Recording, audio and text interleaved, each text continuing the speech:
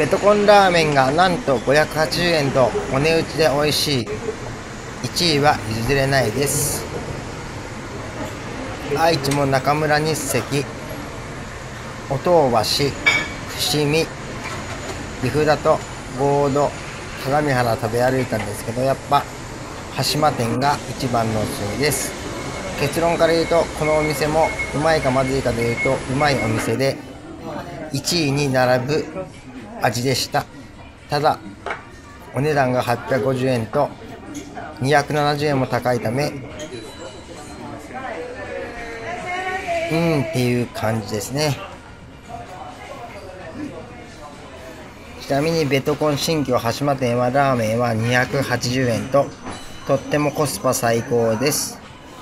もちろん品揃えはほぼ同じです。今日はちょいゲソとベトコンラーメンを注文させていただきました。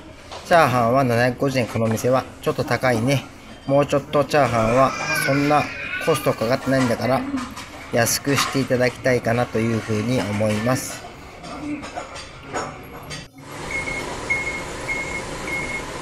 この店は投資営業なのでありがたいかなと思ってます。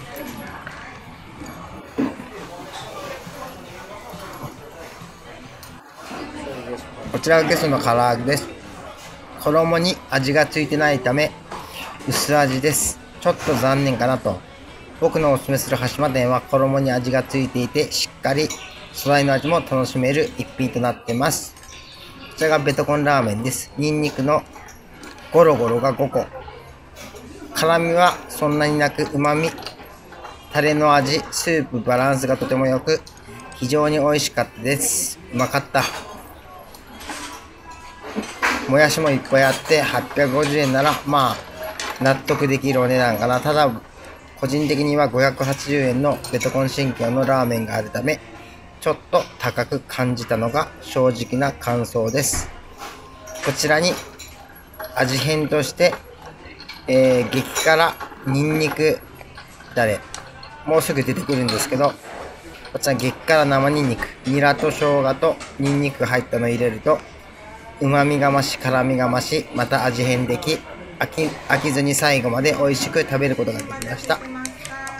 でもこの店はお値段関係なしにするとうまいトップ1位になるんじゃないかなというお店です。ではチャンネル登録よろしくお願いします。バイチャー。